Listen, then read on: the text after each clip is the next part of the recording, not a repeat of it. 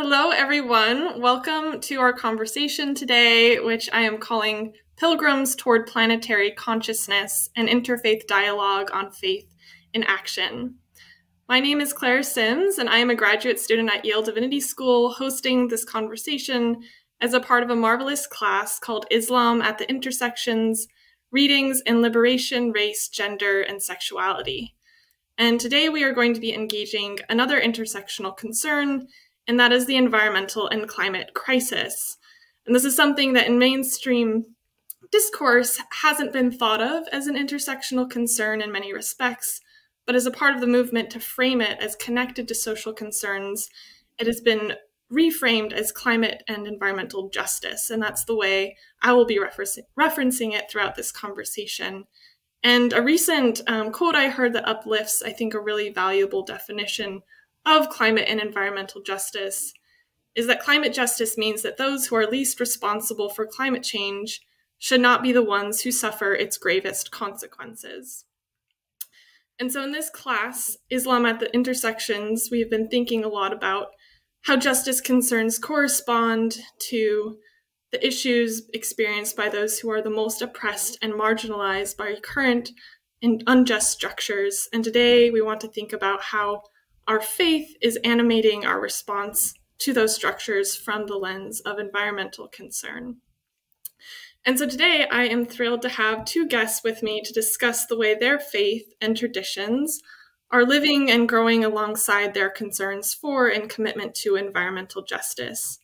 And without further preamble, I am thrilled to welcome Sister Joan Brown of the Order of St. Francis, who is Executive Director of New Mexico Interfaith Power and Light and Mazir Zaibari, who is an active board member, and practitioner of Islamic Sufism. As partners in this work, Joan and Mazir serve in distinct capacities with New Mexico Interfaith Power and Light, which is the local chapter of a national nonprofit which brings together people of faith and conscience to work toward climate solutions and justice. The New Mexico chapter specifically articulates their work as guided by the core belief that active care of the natural world is integral to spiritual life and social justice. And I've had the privilege of working with both Joan and Mazir, and I know that they do incredible work mobilizing faith communities around a whole spectrum, spectrum of issues from oil and gas development and the just transition needed from a fossil fuel to renewable economy, to working with indigenous communities in New Mexico around the impacts of nuclear storage and uranium mining, and so much more that I'm sure we are going to hear about through the course of this conversation. So, Joan and Mazir, welcome. Thank you so much for being here. Clara, thank you so much. And Mazir also. I'm just looking so forward to this conversation today. Thank you for the invitation. Thank you. Very excited. Thank you. So, I thought that maybe we could start off our time with just a little bit more of an introduction. And if both of you would be willing to just share a little bit more about your faith background and maybe something formative that brought you to this work around climate and environmental justice. Uh, my name is Mazir, and I'm, uh, I think practitioner is a little generous. Uh, I'm a, an attendee of the MTO Shahmaghsoudi School of Islamic Sufism, uh, and I've been uh, volunteering on the board with uh, Joan at IPL the school, the MTO Shahmaghsoudi School, is a school of self-knowledge. It teaches us to uncover our uh, hidden treasures within ourselves, uh, and uh, when we do that, when we discover this uh, inner harmony, it reflects as an external harmony, as a as a desire to improve our environment in the same way that we're improving ourselves. So that's what's brought me into this uh, sustainable and environmental work. Thank you. Mazir, that's just beautiful. I love it. Uh, so for myself, um, I guess um, I, I, just want to share. I have so much I could say, but just one little memory. So I am Catholic, and often Catholics are Catholic by birth; they're Catholics forever. And so I grew up on a farm, a very rural area in Kansas, and in the Catholic tradition. But what was very formative to me in that tradition, which um, was um, a practice that's no longer done, and I wish they were, but were um, spiritual practices, um, prayers rooted in the body. So we would have, for instance, rogation days this time of year in May. and we would um, bless the fields and we would with water and uh, we would have processions with flower petals and prayers um, for corpus christi and all these bodily kind of things that were outside and within the natural world with our, our faith and with candles and uh, water etc and so i felt at a very early age this real connection with the earth working with the earth as farm families and this spiritual tradition that was not separated from the earth. And so that's been very formative for me. Thank you. That's so interesting. I had I would not have imagined that taking place um, in Kansas, and that's I, I agree. I I think that's something that we should bring forth more now. And and both those yeah answers I think lead well into my first question, which is kind of informed by reading and thinking about the ways that I think that in faith communities, environmental concerns are often sort of siloed and they're not centered and kind of seen as like a, an add on to faith. And what I hear you partly gesturing to, Joan, is the way um, that has always connection to the earth and, and thinking about um, that connectivity has always really informed your expression of faith. And I'm curious, as you now do this work in a very sort of community facing way, um, the different ways you're maybe seeing and struggling with how environmental justice is siloed or not thought of as connected to other elements of faith and how you have found ways to speak to people about those connections. Mm-hmm. Yeah, and uh, Clara, what you uh, bring up is is I think a, a big challenge, and it is also um, uh, opportunity for growth, but it is a problem as well because it is, I would say, with religious traditions, at least in my experiencing working with interfaith, um, that the environment is siloed from Sunday worship, from spiritual practice. It's like, you know, um, and that is a problem. So in thinking about this, I was I was thinking in in my work what I've come to realize is that there's different phases of a religious tradition. So one is like institutional and that's more the dogmatic or what's required. The other is uh, the tradition, which I consider the mystical tradition or that deep spiritual place um, that informs, and then the practice, which is the social justice and climate justice. And I think oftentimes um, people in religious traditions get stuck in the institutional part and don't realize the deep mystical uh, tradition that we have, like through in the Christian tradition, like Hildegard of Bingen and and Clare, Saint Clare and Saint Francis, and other contemporary saints like Berta Cáceres, um, who was a martyr in Honduras, or Rachel Carson, or Dorothea Stang, who was an, a martyr in Brazil in the rainforests. And that those people lived what Pope Francis calls an integral ecology, which makes the connection with the social concerns as well as the um, environmental and also as a whole person um, uh, our, our, sense our need for community and spirituality. And um, just briefly i'd like to just um, give an image that I think if we could grab onto this image, it would be so much so helpful um, in any traditions. Um, John Haught, who's a theologian, talks about the estuary as the place, the source of greatest life in biological kind of systems where there's water. And he said, um, it's the estuary, not the source of the water, the beginning of the stream, the beginning of the water because the estuary holds the source. I think religious traditions often just keep looking to the source rather than seeing the source within the estuary or our world with all its joy, beauty, and great suffering and sorrows that we have now as we face um, species extinctions and climate change. Mm, yeah, that's really interesting. And, and in a moment, I think that'll bring us nicely to a conversation about sort of stewardship because there's a lot of mining of like the source of scripture to try and understand of, what is happening now. But Mazir, I'd love to hear just your thoughts on on any of this. Uh, in a way, sustainability and, and, and environmental uh, work is central to the teachings of the school in that uh, one of the main teachings that are currently the, the focus of, of the lectures for a while, in my understanding, is the knowledge of the seed. And this is likened to the, the divine knowledge that we're seeking in religion. Um, the seed starts out as a single point, uh, and ba- based on the single point, you wouldn't predict what the seed is going to turn out to be.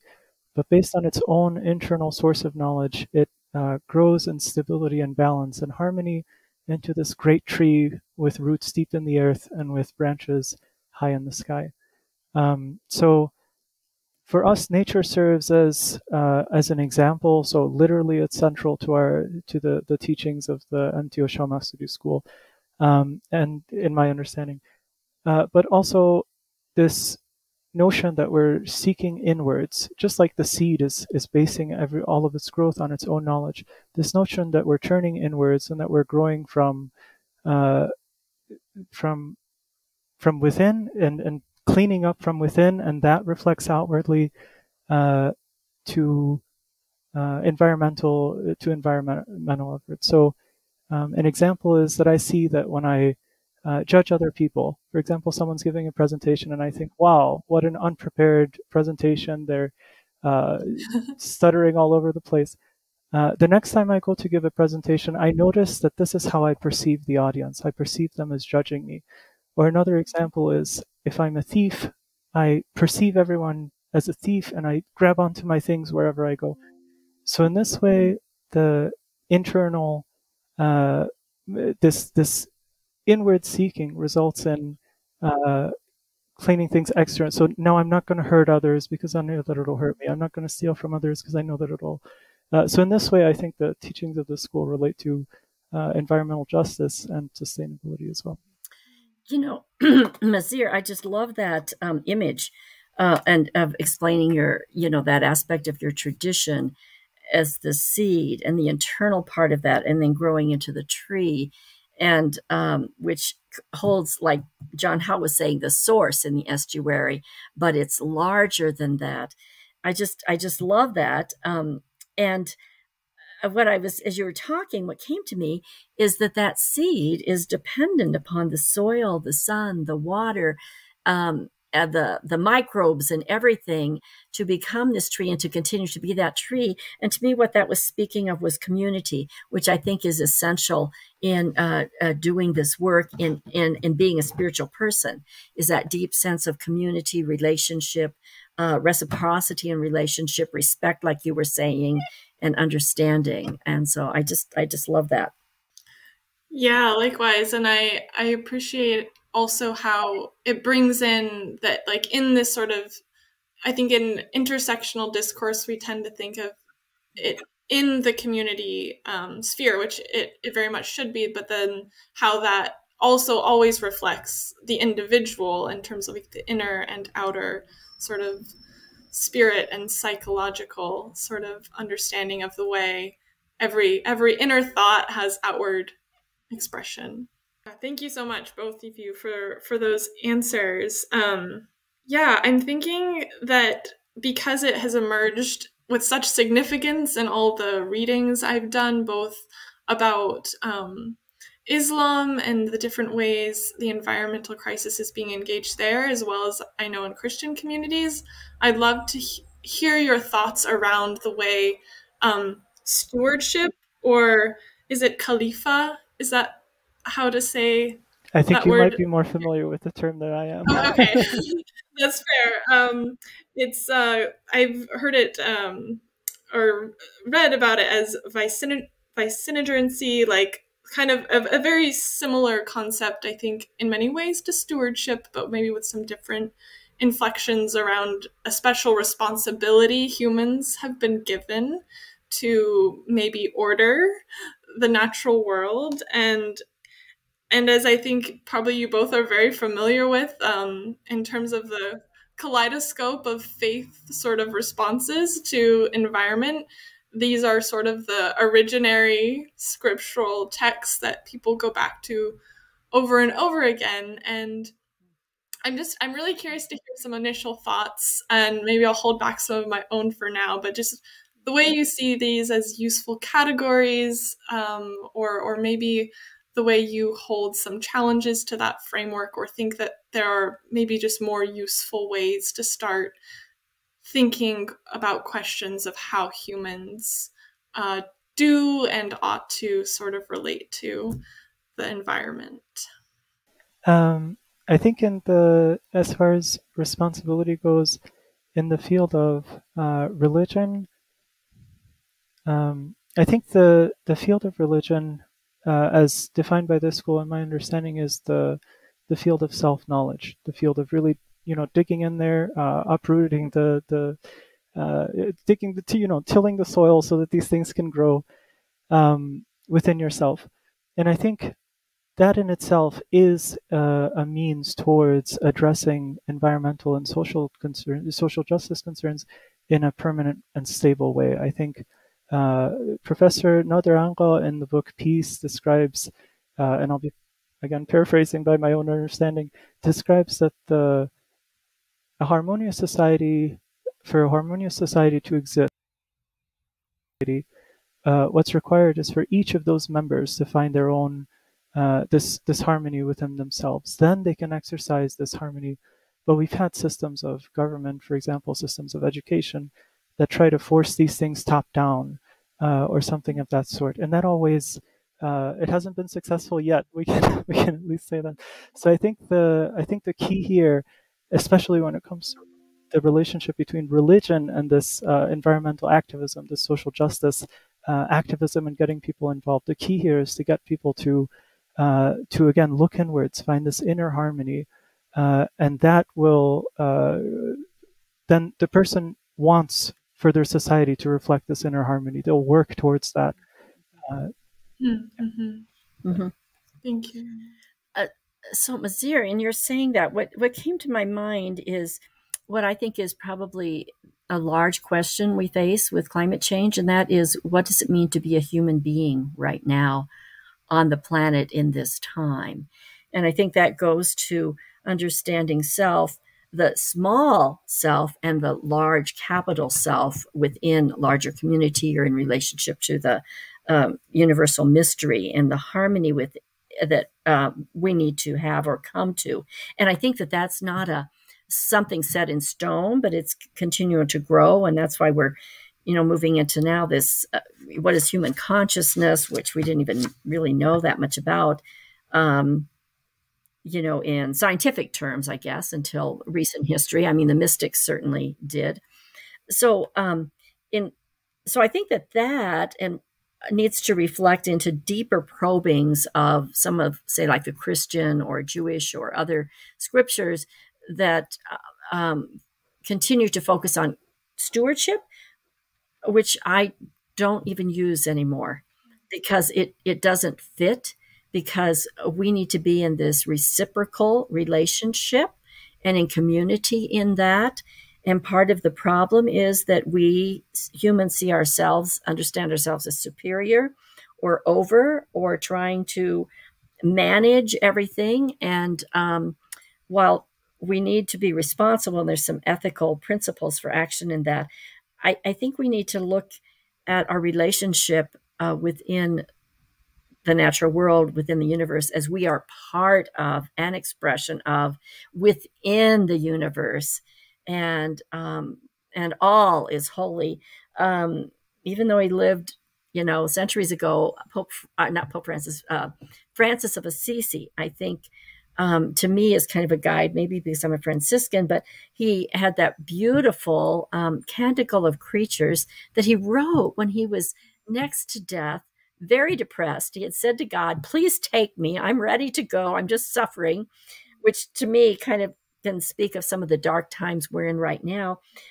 But what happened is he he didn't die. He was given this amazing canticle where he calls and he prays God through um, Sister Water, through Brother Sun, through um, Brother Wind. So those are not just nice titles.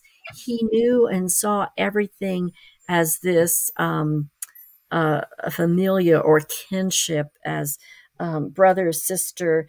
Um, going to scriptures, I, I more and more, I just in Christian tradition, I just go to the basic scripture which says we're to love uh, God, neighbors, and ourselves, and that love. Who is the neighbor? It's every single element, the water, the microbes, every every one. And to me, that's different than a stewardship. It is a relational kind of model. Yeah.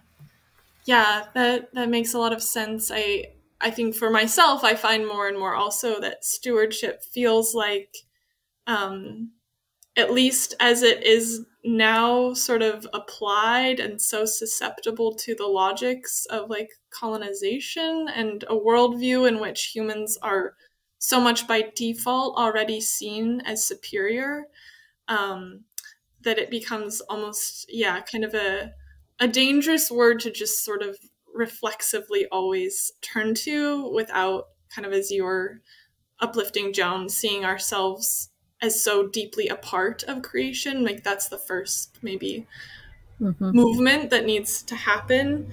And something that um, what you said, Mazir, made me think about in terms of how the inner self knowledge and that work will sort of like naturally bring forth the desire to see that reflected outwardly. Um, I've been in a class, Tribal Resources and Sovereignty, this semester with a professor from Hawaii, and he shared um, a cultural precept for his native peoples as um, kuleana, which means knowing one's like particular responsibility and position in the world and and how those um, very particular that very particular placement of who you are kind of can then impact um, the world and community and um, mm-hmm. i just appreciated yeah it reminded me of that and and reminds me of the ways um, there's just i think so much more enrichment um, to come forth in these sort of interfaith dialogue spaces which brings me um, to my- I just add one thing, Clara, because mm-hmm. this goes back to um, you know this thought that I forgot to share, Mazir, when you talked about understanding the self, and then harmonies will evolve or move from that. And it just reminded me of some a very specific example I heard this morning on the news.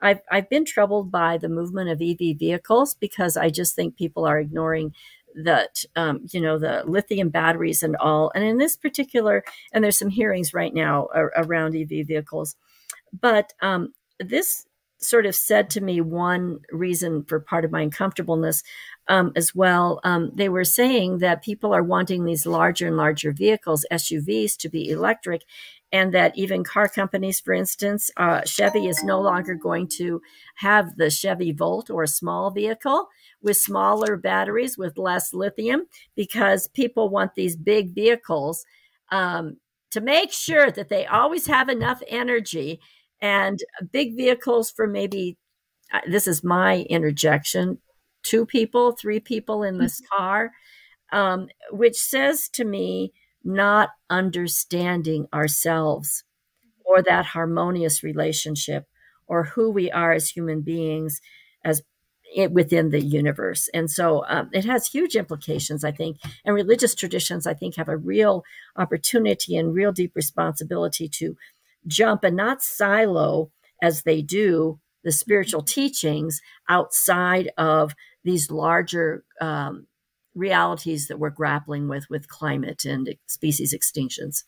Mm-hmm. yeah that just so uplifts the way like economic political all these things have to be engaged um, at the spiritual level. And it reminds me of the quote and maybe you know where this is from. I've heard it so many times and i feel that I don't know the source, but to live some simply so that others may simply live. Mm-hmm, and mm-hmm. that that connection is I mm-hmm. feel very much missing in the discourse around um, a lot of the renewable energy and um, electric vehicle movement. Um, yeah, and so I would love to hear um, in this work, um, maybe with interfaith power and light or or before and beyond that um, how's it been to bring your particular faith tradition into interfaith spaces and um, i would love to hear anything that you have found enriching surprising challenging um, in those spaces as we kind of think about what they can offer in particular to this work? Uh, first, I, will just uh, mention a quote from Message from the Soul by Professor Sadegh Angha that I was reminded of when you were speaking, Joan. Uh, guidance is in the union of thoughts, the heart, the senses, and nature, and going astray is and going astray is disarray and confusion among these four. Uh, that really spoke to me when we're talking about the inner uh, harmony and the outer harmony. Um, as far as uh, the what I've gained from these interfaiths, one of the biggest things I've gained is uh, meeting, and I'm sorry to to do this to you, not Joan, but meeting people like Joan, people who uh, you know, we're we're doing this as part of our our self growth, as part of this journey of self discovery, participating in interfaith, and it teaches me, for example, uh, when I disagree with someone, it teaches me to look deeper into my own faith to see do I actually understand it? Does it actually make sense to me? And uh, what I was saying is part of it is seeing people like Joan in our charity and sustainability efforts, uh, people who aren't just doing this as as some assignment, but are putting their entire lives into this effort to me, that's been the most inspirational, uh, inspirational thing when we g- give a donation somewhere and we see, uh, you know, people who nine to five, seven days a week are are in service to their community. So that's one of the things I'm grateful for from all the interfaith efforts that I've participated in. Thank you, Mazir. Um, you know, I have to say that I, I am just grateful for the diverse uh, thinking, prayers, um, perspectives of different spiritual traditions, um, you know, and doing this interfaith work. And that has enriched me. I've learned so much about Judaism, about um, Islam, uh, indigenous spiritualities. Um, and then I, not procreating, but somehow those influence me in how then I approach things. Um, you know, uh, one of the things though that I've just found more and more surprising, I feel something's evolving as people kind of have access to some of this wisdom and take it that our spiritualities individually, but also collectively are evolving to a new place and a, uh, a, a, greater integration. And I feel I've, I've discovered that there's, there's a real hunger for some kind of spiritual, not just meaning, but at a deeper place that that can inform my presence in the world, can help create community where there's similar values, ethics. They, they may be different, but they're similar in terms of caring for, uh, you know, uh, our communities, the common good, and for climate justice. Um, as for my own tradition, I, I, think what I've discovered that has been our a Catholic tradition has lots of ritual mm-hmm. and is very rooted in water and soil and all these sacramentals and you know hands-on kind of things and and um i guess because that speaks to me so it's been um you know a delight for me to see people embracing ritual and different mm-hmm. kinds of ritual embodied with earth um, and uh, prayer um, with you know of, for for uh, climate justice and integrating that into advocacy into action so that we're not siloing our spiritual tradition into just prayer but that praying is everything and it's breathing and it's eating it's growing food it's our advocacy it's all of that Mm-hmm. Yeah, thank you both so much for those responses. Um, I I really appreciate what you kind of named Joan around and and Mazir as well around the the evolving aspect of all of our faiths and also the sort of self discovery um, and sort of deeper, um, maybe even digging deeper into one's own faith tradition and encountering others. Um, because one of the I think disservices done to faith and environmental work is when there's like an essentialization of like this is this is what all the Catholics think or this is you know it's mm-hmm.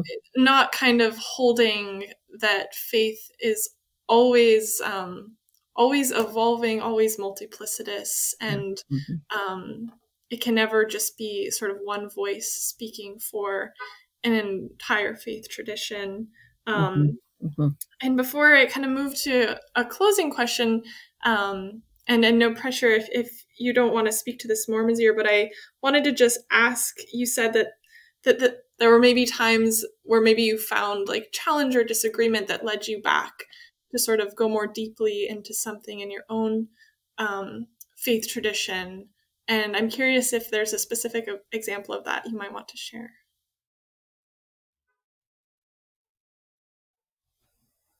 It's okay if not. We can totally move on to the next question. Um, and that is what is giving you the most energy and hope right now in your faith practice as it speaks to the work of environmental justice? For for myself, I mean, actually, there is so much, um, but because you're calling on faith practice in particular, I think just the deepening of my faith practices, like um, the uh, meditation, um, prayer in the morning, and um, since it's spring, I find in new ways that the birds are, um, you know, intervening in part of that. All the bird song that starts at like four thirty. Um, you know, it's like wow, and that that's so holy and sacred, and that's part of the prayer. But I'm I'm you know, although I, I know that and have known that, it's kind of moving me on a deeper level. So I think the practices that I normally do, being open to how those move in a deeper level, or like walking in the morning and um, um, the trees uh, greeting me with the sun and um, the beauty of God and, and, and the holy, and that I'm in that and we're breathing the same back and forth transpiration uh, in in our exchange of of the oxygen or elements or carbon dioxide. Um, you know, of working with diverse people um, and seeing that as a prayer and um, a, a, a, communion. I'm, I'm exploring communion in a new way and in a deeper way. And that communion is everything and it's happening constantly. And it's this relationship and reciprocity, and that that is nurturing, it's feeding, it's restoring, it's evolving, it's changing, it's growing, but that everything is communion. So I guess I'd have to say just new insights into, um, you know, um, spiritual thinking traditions and and uh, and also writers and um, you know, different media things are, are part of that and poetry and even baking bread. It's all a matter of, as Mazir was saying, understanding myself within whatever I do and that harmonious and building the relationships. Um, and uh, I think we need that so much. I just, I'll, I go back to so much Thomas Berry and something that he said in terms of as we, um, quote, use up the resources that we have that we need to dig more deeply into the spiritual psychic resources that we do not even know we have in order to move into the future to be able to be of uh, of service to live in that harmonious way you know um, in the universe and on, with earth and community. Mm, that's beautiful. Thank you john. How about you mazir yeah, I think the the work that's being done uh, by interfaith groups is certainly something that uh, every uh, student of religion, every seeker of religion is involved in, something that every seeker of religion would do. But I think doing it in an interfaith community has a huge multiplicative effect. Doing it with people who are uh, seeking the same things, who are on their own spiritual paths, uh, is is really a huge blessing. There's so much to learn from that uh, not only from the activities we do, but from the, the people that we're doing them with. Another thing that's to be grateful for.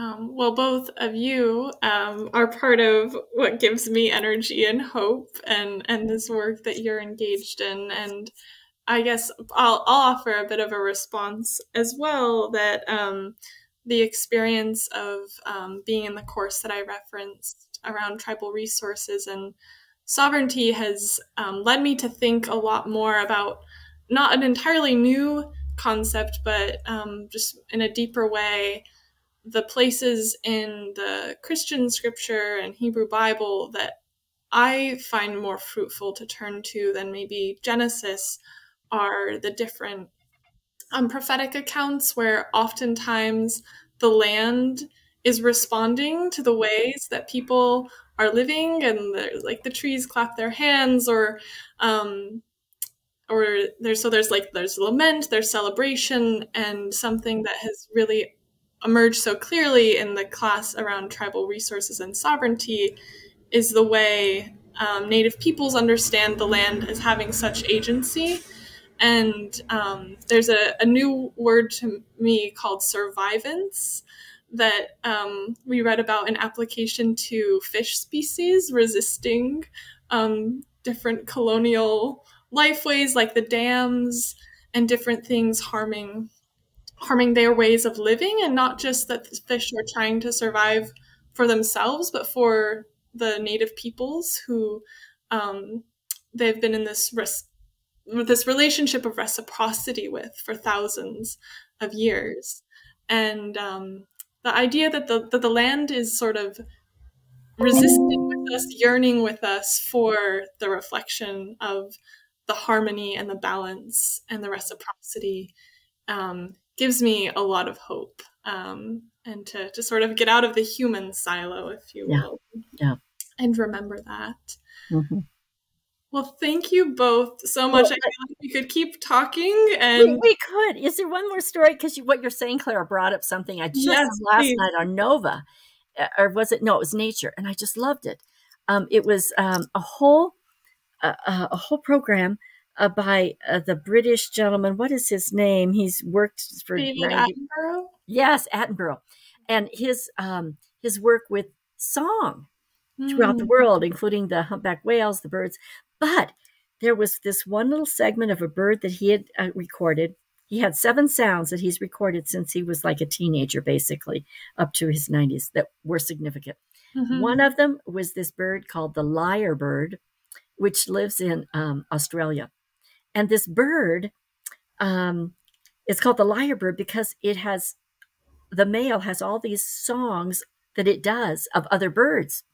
Oh. and the reason is because um, it's for mating to show the female that it, it, it, can protect her and it does all, it's really very complex but one of the songs it took on was the chainsaw buzz saw of wow. Deforestation.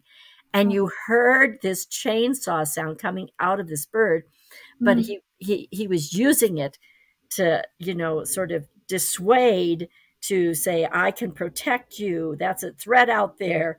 You need to come to me to create more babies. but, but it's it's what you were saying is what mm-hmm. the natural world does. And um, anyway, just a little aside. It was amazing. Yeah, that is very, very fascinating and very humbling, I think, as we think about, yeah, stewardship and that we order the world some somehow um, to yeah to have the humility to know that the yeah all all of life is um, a part of of this inner and outer balance harmony dynamism that we're all uh, seeking well, I want to just honor your time and thank you so much for for being here. Like I said, I feel like we could keep talking and just in being in this conversation, it, it energizes me in in this work and um, yeah, I, I look forward to continuing to be conversation partners